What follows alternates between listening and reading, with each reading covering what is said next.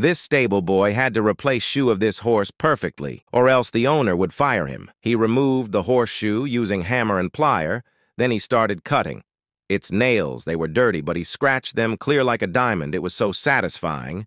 But there was so much more to be done. He started smoothing the edges, but then it gets crazy as he made a new horseshoe for the horse and put it on his feet. Smoke started coming out of the feet, and he then started hammering it in using nails. Unbelievably, he started brushing the feet and finally applied a coat of protective material for a shiny finish.